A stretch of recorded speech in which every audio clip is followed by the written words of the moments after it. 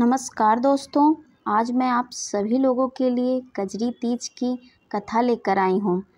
भाद्र मास की कृष्ण पक्ष की तृतीया को कजरी तीज का त्यौहार मनाया जाता है। कजरी तीज के दिन सुहागन स्त्रियाँ अपने पति की लंबी उम्र और सुख समृद्धि के लिए व्रत करती हैं। धार्मिक मान्यताओं के अनुसार इस व्रत से प्रसन्न होकर भगवान शिव और माँ पार्वती सभी मनोकामनाओं को पूरा करते हैं। अगर किसी इस लड़की की शादी में कोई बाधा आ रही हो तो कजरी तीज का व्रत करने से सभी बाधाएँ दूर होती हैं। चलिए अब हम कथा शुरू करते हैं। एक साहूकार था, उसके सात बेटे थे। उसका सबसे छोटा बेटा अपाहिज था। वो रोज़ाना वैश्या के पास जाता था। उसकी पत्नी बहुत पतिव्रता थी। वह खुद उसे कंधे पर बैठा के वैश्या के यहाँ ले जाती थी। वे बहुत गरीब थी, जेठानियों के पास काम करके अपना गुजारा करती थी।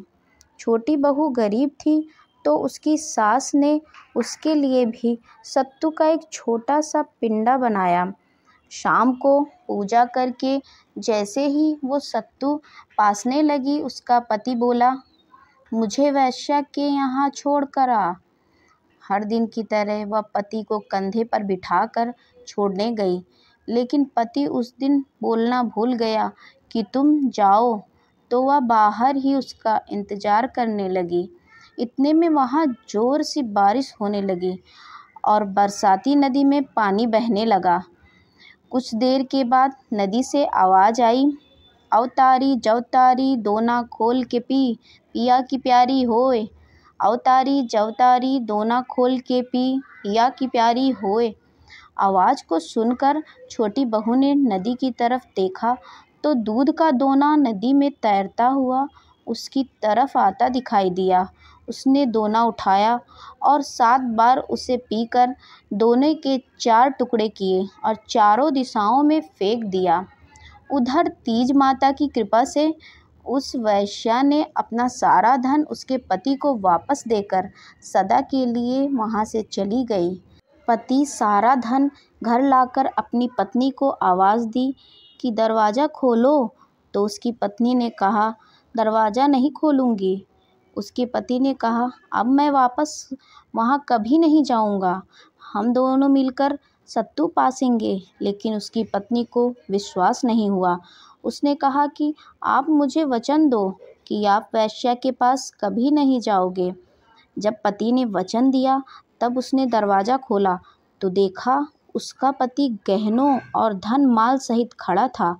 उसने सारे गहने कपड़े अपनी पत्नी को दिया। फिर दोनों ने बैठकर सत्तू पासा। जब सुबह वह जेठानी के यहाँ काम करने नहीं गई तो बच्चे बुलाने आए कि, काकी, चलो, सारा काम पड़ा है। उसने कहा, अब मुझ पर तीज माता की कृपा है। मैं काम करने नहीं आऊँगी। बच्चों ने जाकर अपनी माँ से बताया कि आज से काकी काम करने नहीं आएँगी। वो नए कपड़े, जेवर पहन कर बैठी हैं और काका भी घर पर ही हैं। उन पर तीज माता की कृपा हुई है। सभी लोग यह सुनकर बहुत ही खुश हुए।